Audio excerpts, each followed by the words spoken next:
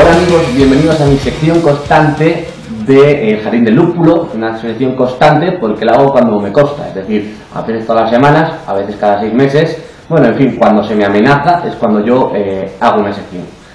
Eh, la gente me dice, y esto es una cosa que estoy yo un poco caliente, a ti, Quique, te gustan las cervezas raras, dice, y a mí me gustan las cervezas de toda la vida. Y yo te digo, amigo ignorante, eres un paleto, a ti lo que te gustan son las pils, ¿eh? las pils. Y hoy he comprado esta cerveza, que es la Pils Urkel, que es la Pils original de la que luego eh, se copió todas las demás cervezas eh, comerciales. La Mau, por ejemplo, es una Pils, Estrella Galicia es una Pils también, la Cruzcampo, la Cruzcampo no, ya sabéis que la Cruzcampo es una mierda. En fin, voy a cortar esto, no vaya a ser que me denuncien. Voy a la carta. Esta cerveza se puso de moda las Pils, esto es una chapa que os doy, en la revolución industrial. Se popularizaron, ¿por qué? Porque tienen una eh, baja graduación alcohólica y luego además son unas cervezas que son limpias, fresquitas, están muy bien para tomarse. Bueno, se abre la cerveza con cierto tal, ya vamos a servir.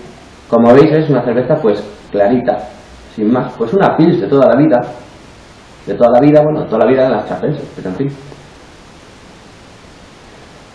Aquí se ve muy claro cuando huele que tiene como un aroma como floral.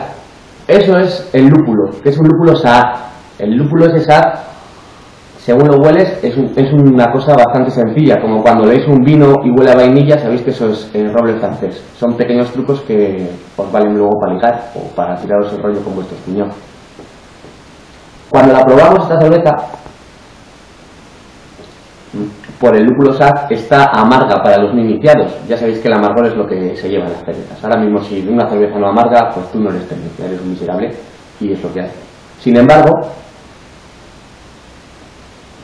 al trato está muy compensada. Es una cerveza que la malta está muy equilibrada con el lúpulo y merece muchísimo la pena. Tiene un toque cítrico al final y la he comprado en el Lidl a 0,99 esta mañana.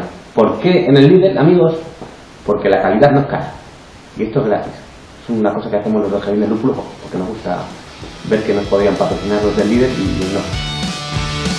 Hasta el año.